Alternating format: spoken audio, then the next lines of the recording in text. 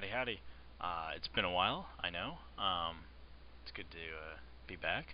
Um, and uh, yeah, I'm gonna try and uh, hop back into the swing of things and possibly do at least try to get through one crack me once or twice, you know, a month, you know, maybe one every other week or something like that. Um, but yeah, we're gonna we're gonna try and be a little more frequent. Um, so we've got Ollie open. Uh, a user sent me a crack me. Uh, actually, it's keygen me, and uh, he sends me this.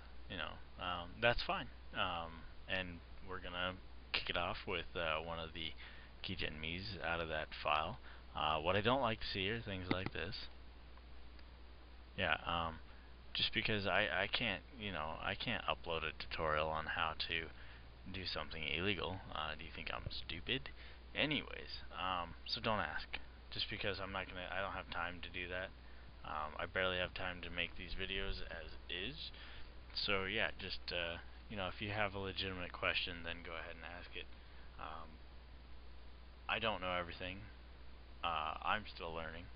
I've been doing this for many years, and there's always more to learn. So don't think that you know it all and you can do anything or that anyone can.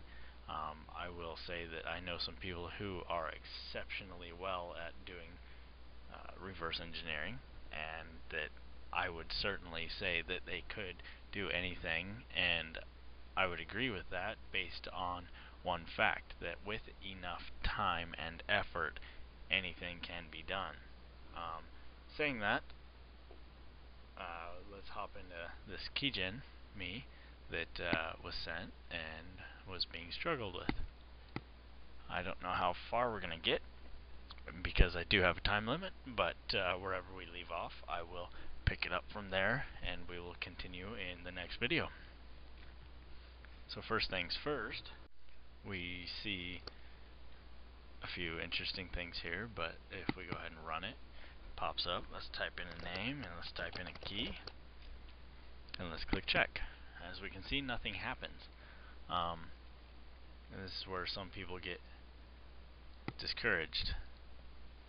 So, because they're looking for a bad message to go look for, uh, you know, in text strings or something like that. And I don't know where people got the idea that text strings are where it's at, because it's not.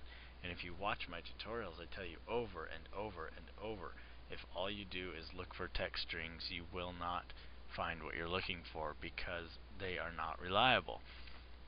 With this keygen me, you probably can. You could probably look for the good message, but we're not going to. We're going to right click, we're going to search for names. Not strings, not text, names. What this means is function names. Functions that the program calls. As you can see, we have some functions here, and then we have exit process, and we have some functions here. And if we look at those and really think about what they might do message box, send message, get DLG item text A. Will two really grab your attention. Message box what are they using the message box for? If there's no about box or anything like that obviously if we enter the correct key it's probably going to say something. Get DLG item text A, get dialog item text A.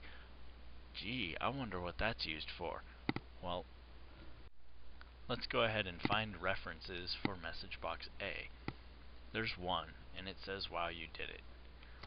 Okay, so here we see a message box for wow you did it, and below it we see a jump landing marker. If we click that, we see that there are one, two, three, four jumps to it. If we click this jump landing marker, we see it's down here. This one's way up here. So we can put a breakpoint on that one because it obviously jumps over our good message. And this one down here is right here. So if we go here and put a breakpoint on all of these, we can find out what's going on. Now, if we go ahead and run that, before we even run it, it breaks right here. Well, we don't want it to break every time, so we're going to remove that breakpoint and run. Now we pull it up, and we're going to hit check. And we break here. And we see that e EAX is ORed with itself. And if it is 0, then we're going to jump past our good message. Well, it's not, so we're not. It's going to push the offset 403014 onto the stack, which currently holds 15631, which is, if we go back to our key here, 15631 is the last few digits of our key. Now, down here we can see our key, and it's split with a little thing there. And then down here we can see that. Now we're going to go ahead and continue and go over that. And we're going to hit F8, continue, and we see that EAX is ORed again against itself. If that were equal to 0, it would jump. Well, it's not. It's equal to 15631, which is the last few digits of our key that we entered. Now it's going to not EAX. It's going to convert it to negative. So if we hit that, and now if we double click it, we see it's negative blah blah blah.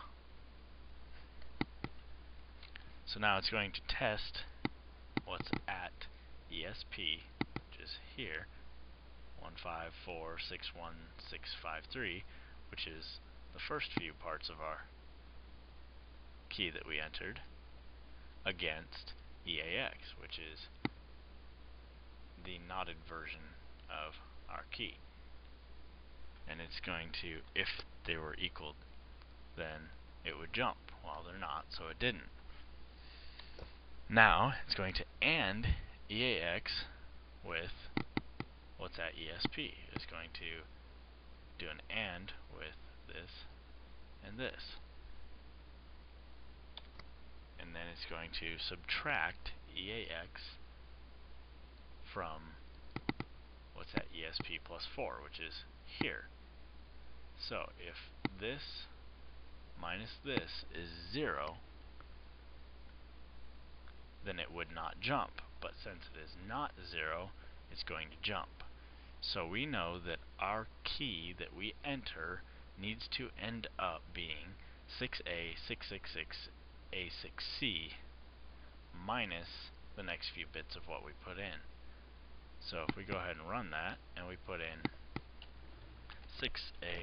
6A666A6D, I'm not sure if this will work without those being capital letters, but we're going to try it. And then if we hit 1, we should get a good message.